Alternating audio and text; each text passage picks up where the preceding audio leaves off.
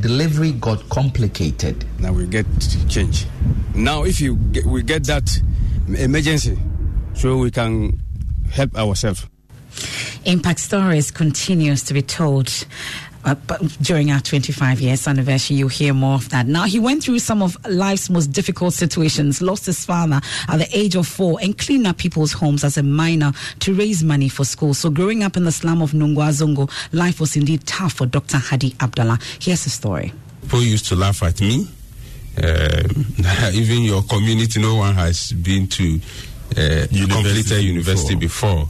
No girl in in my family had even gone to secondary school and comp- in fact apart from my senior sister direct mm. seniors i'm from a polygamous uh, okay. uh, family. Of 12 uh, children. yes. All the girls which came before my senior sister had never even sat in a classroom before. Wow. So it was laughable that i could dream at that time to become a doctor and even become a neurosurgeon but i i decided to stay on course no mm. matter what. Um, the the difficulties were going through medical school. Uh, have managed to change the mindsets of our people, and we have almost about five doctors now. Wow! Most of the young guys are from Nungua. Yeah, from Nungua. That's Zongo. That's the story of Dr. Hadi Abdallah. He did it. You can do it too. We can all do it. And that's it uh, for the midday news. You're on Joy 99.7 FM. There's more news when you log on to myjoyonline.com. I am MFA Pau. Thanks so much for your company. Dr. Mensa Otabil has living word.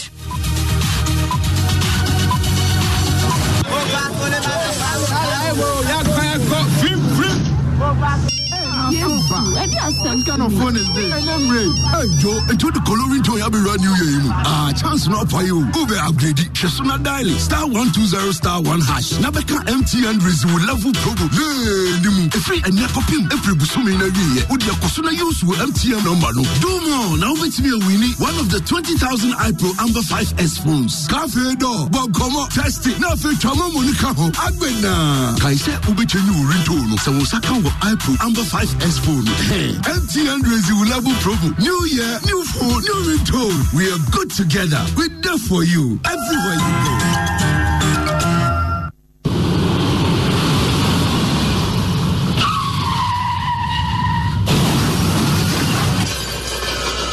Tell me, will it hurt when your bumper crumbles, your headlights shatter, and your engine block is driven backwards, crushing every single bone in your legs? Will it hurt? When your steering wheel squashes your chest and your lungs are punctured by the sharp ends of your own broken ribs, will it hurt? When your head snaps forward and smashes into the dashboard, forcing several tiny shards of fractured skull into your brain, will it hurt? When your child flies through the windshield, bouncing several times on the hard asphalted road and comes to rest in a broken heap just before the somersaulting vehicle lands on their crushed body, will it hurt? When your body is mutilated permanently, when your victims' lives are shattered irreparably, when your family is bereaved tragically, tell me, will it hurt? Road accidents kill thousands of Ghanaians each year, and all these deaths are avoidable. When we act irresponsibly on our roads, we don't just jeopardize our own lives, but those around us and those at home waiting for us. So ask yourself, will you make it home tonight? Because if you don't, trust me, it will hurt. Be a safe driver. Be a responsible passenger. Look out for yourselves and each other. Arrive alive. Arrive Alive is a Joy Road Safety campaign.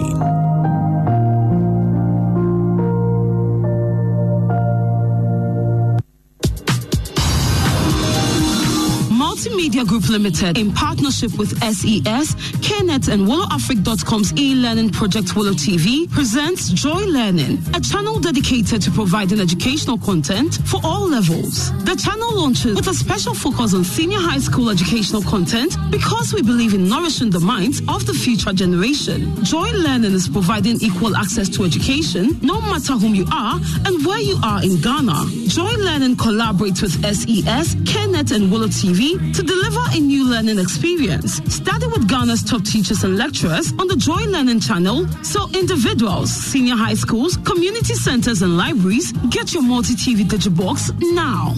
Joy Learning. Keep learning. This is the open house party. This show is all about the hottest tracks, the latest hits, the freestyles, the amazing guests, the live phone is. It's your number one Saturday night show, the open house party on the number one radio station, 8 p.m. to 12 midnight with the one and only DJ Black. Hashtag open house party on all social media platforms. It's the open house party here on Joy 99.7 FM.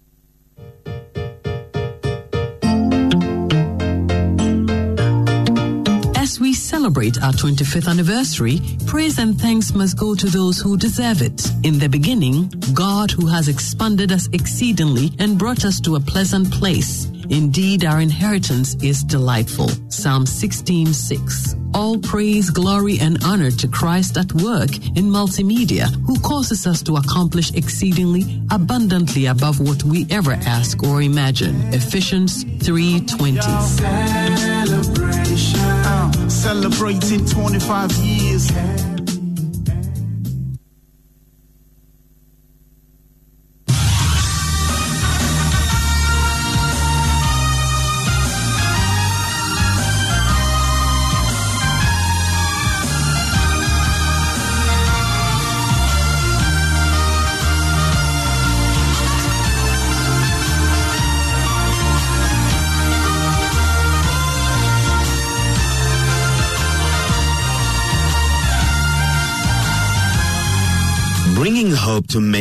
Around the globe. Transforming lives into legacies. Living Word with Pastor Mensa Otabil.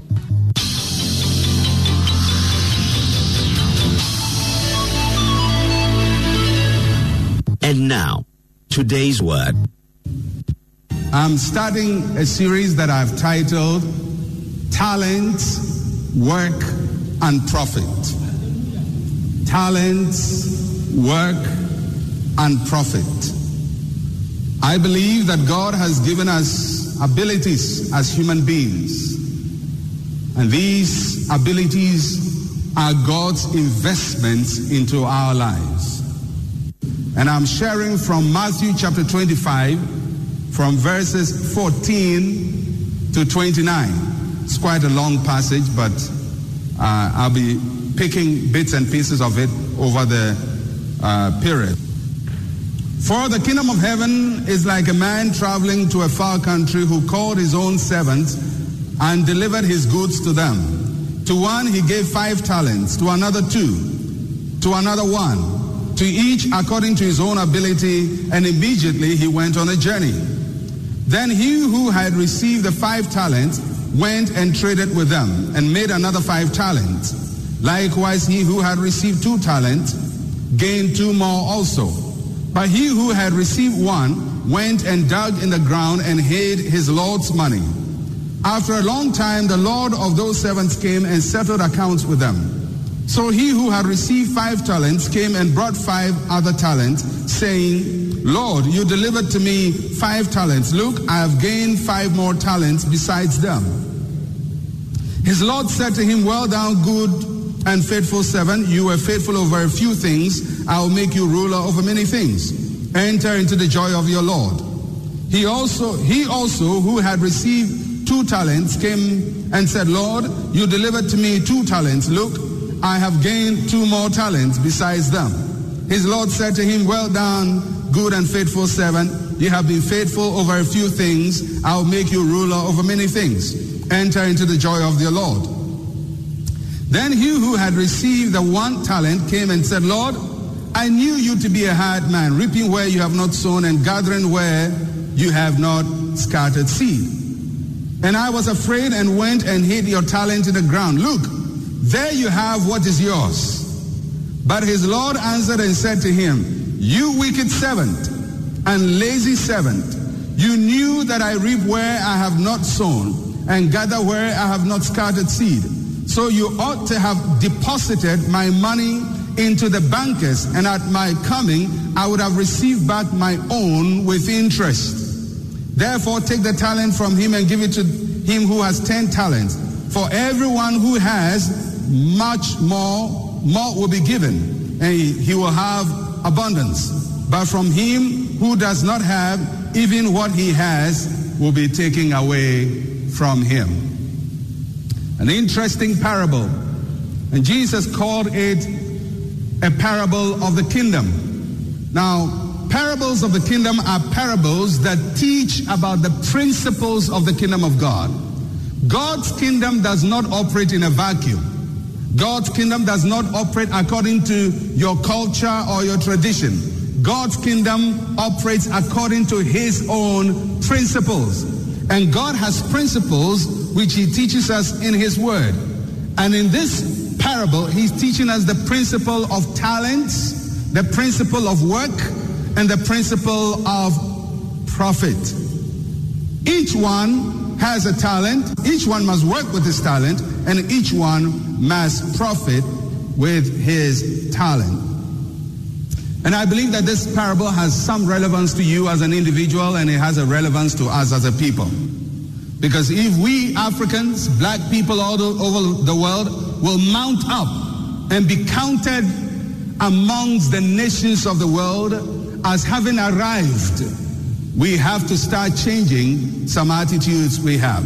There are a few observations I want you to look at with me in the first few verses of this passage from verse 14. It says from verse 14 that the man called his own servants. Everybody say his own servants.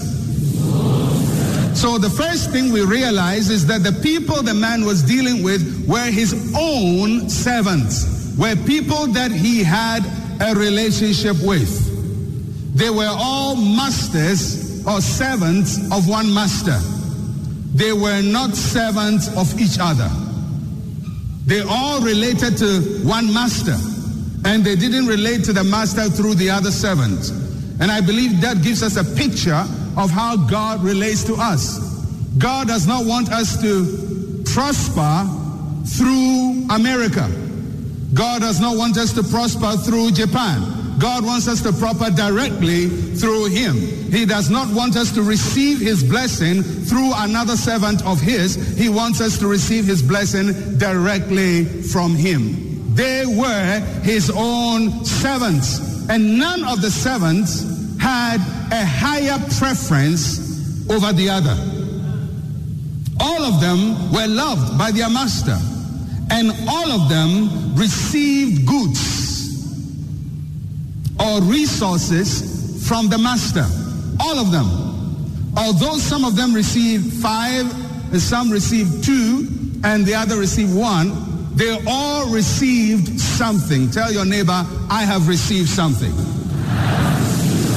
We may not all receive everything in equal measure. There are some people who naturally have more talent in some areas than we have. If you put a group of, uh, uh, go to a classroom and, and pick a class of probably 40 pupils and put a football in front of them, they will kick it differently. Some will kick it with more skill. Others will kick it, as we used to say, stomach direction. Why? Because even in childhood, without any proper coaching, you can see that some have more skill than the other. You can sit in a class of carpenters and you would see that some, even without a teacher teaching them, has more skill than the other. And you can sit in a reading class and find that even without being taught reading, some of the students will exhibit more skill than the other. The good thing about life is that God has a fair distribution. So that somebody may have more skill in reading and some have more skill in playing football and some have more skill in beating people with their fists. In the end, all of them can become successful. These times, you know that even footballers earn more than professors. And boxers can, within 30 seconds, earn more than you will earn all your lifetime. Everybody has got something. It may not be the five that somebody has got, but you've got something. Everybody has got something. Some can sew, some can make hair. Everybody has got a talent. And so for all his servants, all of them were given talent. Every one of them was given a talent. None was given nothing so that he would go and sponge off on the other. Every one of them was given talent. That talent was money, actually. It was money that was equivalent in our modern time to almost $2,000. So one talent would be about $2,000. So for the one who received five talents, he received about $10,000. The one who received two received about four, and the one who received one received about $2,000. And how many of you know that you can do something with $2,000? So it wasn't as if the man gave them little pesewas and pennies. No, he gave them substantial seed capital, substantial seed money, original seed from which they could work. It was not an amount that was too small to be useful. It was an amount that was sufficient enough to be useful. And that's what we have to understand that what God has given to us is sufficient. Whatever talent God gives to you, it may not be money, it may be a brain, skills in your mind, talent in your feet, ability in your hands, but whatever it is, it is useful. And that skill is usable. God gave them the seed. Everybody say the seed. Or say the original seed. Okay.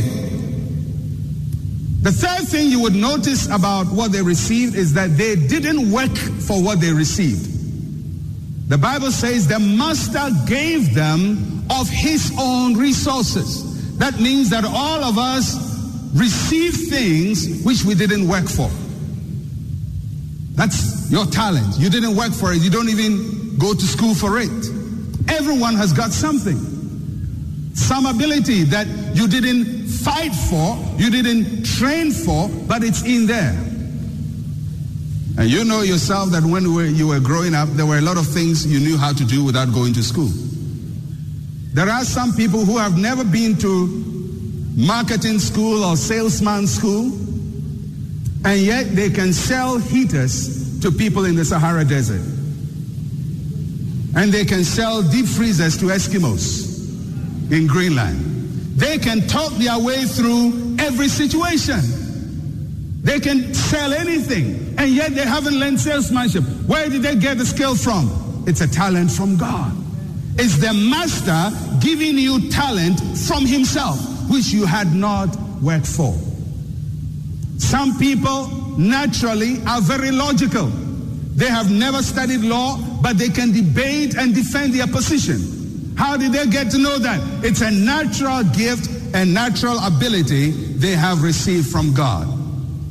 Some are good speakers naturally. They don't need to work too hard to speak very well. They have received that gift from God. So there are things we have received which are not a result of our effort, but a result of God's grace.